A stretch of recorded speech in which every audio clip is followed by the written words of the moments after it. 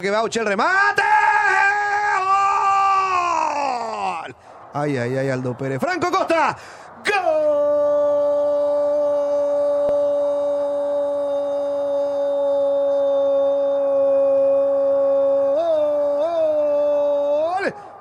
Caballero. El remate de Auché desde fuera del área parecía muy lejos. Sin embargo, un manotazo medio raro termina metiendo Aldo Pérez y la pelota que se iba metiendo. Y para que no quede en duda de atropellada, Franco Costa termina empujando la pelota en la boca del arco para que no queden dudas, decía, por supuesto.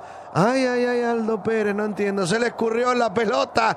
El que no quiere que se le escurran los puntos es General Caballero, por eso ya lo gana por Franco Costa 1 a 0. Diego Irrazábal. Bueno, señores, un remate sinceramente daba la sensación que se iba fuera en primer lugar. Es cierto, Aldo Pérez no tiene ojos en la nuca. Termina arrojándose. Ahora, el movimiento extraño que hace con la mano derecha, porque tendría que empujar hacia el costado de ese poste derecho el balón, pero él devuelve la pelota hacia el medio, más bien buscando el poste izquierdo y le deja servido ese balón para que entre solo Franco Costa, arco a disposición, pone el pie, empuja adentro y tempraneramente pasa a ganar el conjunto del General Caballero. Colaboración de Aldo Pérez. Lo aprovecha Franco Costa. Esto está 1 a 0 a favor de General contra Guaraní.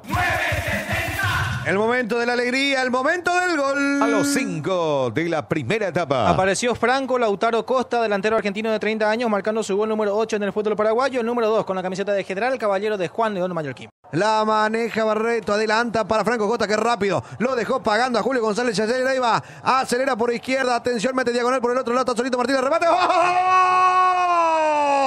¡Gol! Costa, gol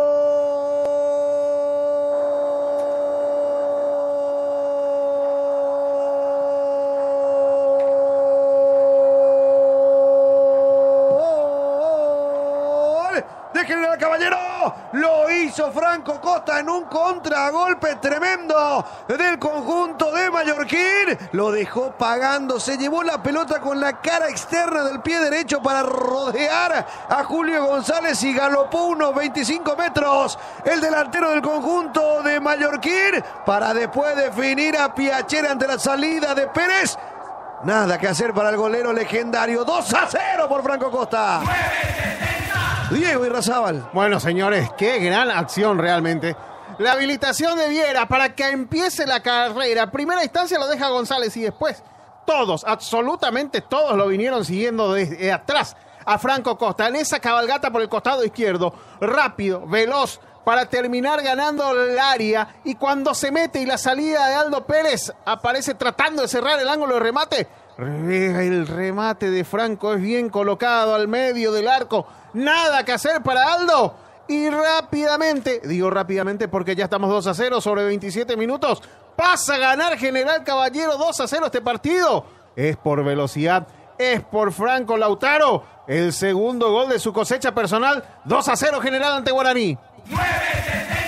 El momento de la alegría, el momento gol. A los 26 de esta primera etapa. Franco Lautaro Costa, delantero argentino de 30 años, marcando su gol número 9 en el fútbol paraguayo, el número 3 con la camiseta de General Caballero de Juan León Mallorquín. Ay, ay, ay, alguien le quitó la silla al hombre de Guaraní. Está tercero. ¡Gol! Martínez. ¡Gol!